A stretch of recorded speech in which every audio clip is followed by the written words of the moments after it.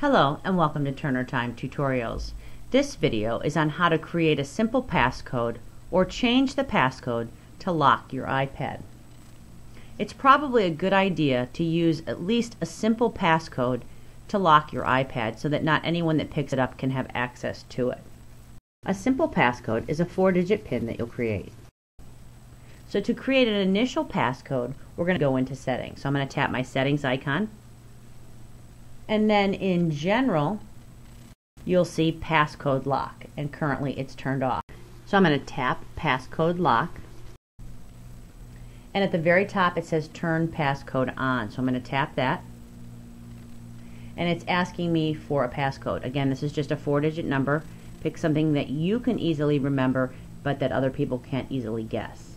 So I'm going to type in my four digits. And it asks me to re-enter my passcode. Enter the same four digits. And now the passcode is on.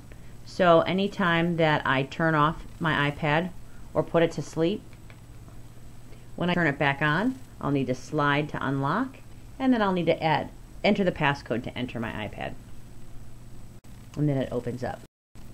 If you decide that passcode is not what you want to use and you want to change it, we're going to go back into settings. General is selected. If not, tap general. And it says passcode lock is on. So we would tap passcode lock. And it asks us for the passcode. So that's the one you're using right now. Enter that. And now if we want to change the passcode, the second selection is change passcode. So I'm going to tap change passcode it's asking me for my old passcode. So make sure you read the boxes that come up. I'm going to type in my old passcode. Enter your new passcode and re-enter your new passcode. Now my new passcode has been set. And again, if I were to put my iPad to sleep and I want to access it again, I'll need to enter the new passcode. You'll want to change your passcode if you feel it's been compromised in any way. And it's a good idea to always use a passcode to lock your iPad so that anyone that picks it up cannot have unauthorized access to company sensitive email or anything else that you may have stored on your iPad.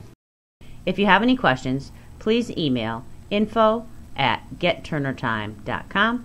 Thanks for watching and have a productive